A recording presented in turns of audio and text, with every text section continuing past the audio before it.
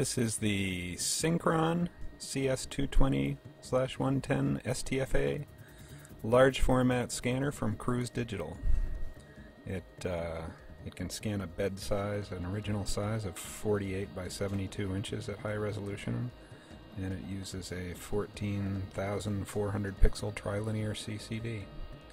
The real advantage of the scanner is that it scans a very small slice of the original painting, so it allows you incredible control over the light uh, direction and quality.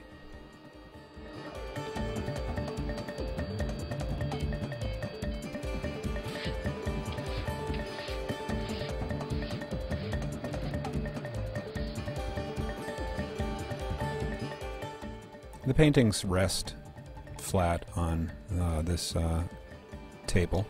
Uh, the table has uh, a vacuum vacuum bed on it, so that if you're scanning something that's thin, uh, it'll it'll suck straight to the uh, to the bed and, and remain flat.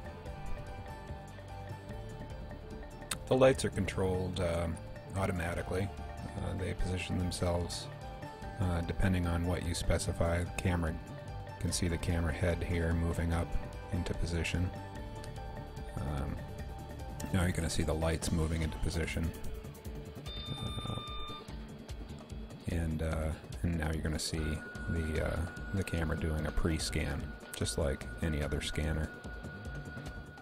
We can scan images, uh, originals that are well over 48 inches by 72 inches as well, simply by scanning in sections and stitching. Uh, the optics are aligned so perfectly that there's no no problem aligning and, uh, and stitching images at all.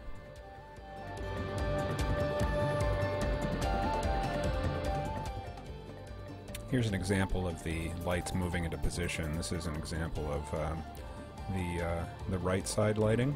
You can see the the right head is lit.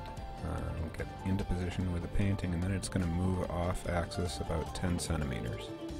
Uh, this gives you a great deal of side lighting and relief for brush strokes.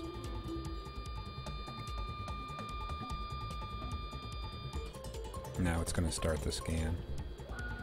Second example shows the left side. You can see the left side is lit now. And it moves into position. So depending on how the painting is oriented, you'd use left or right side. And you're going to do the pre-scan.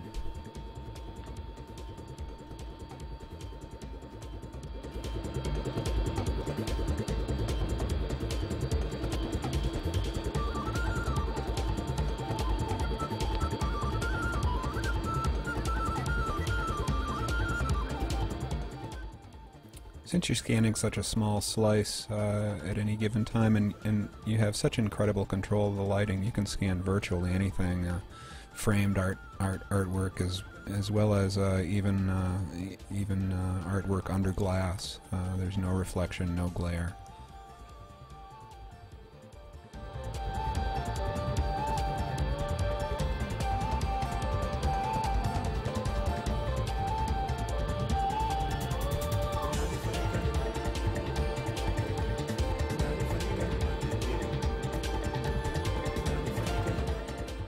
First example uh, we're going to see is a standard scan with left and right lighting, which flattens out the brush mark um, and uh, gives you a fairly standard contour. The second example is with left uh, 10 centimeters, which shows the contour of the brush.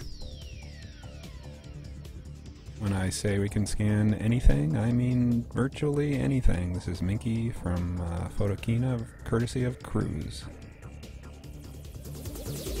Thank